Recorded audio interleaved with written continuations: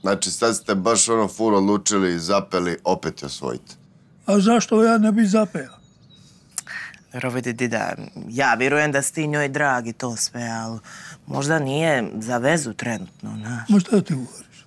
Tako si i govorila, ma si opet sa ruzinami, na? He, pa ko kaže da sam dobro učinila? Aj, imaš pravo. Kad se srcem zaljubiš i onda voliš cijeli život, a kad bi se glavu pitalo, ne bi niko s nikim bio.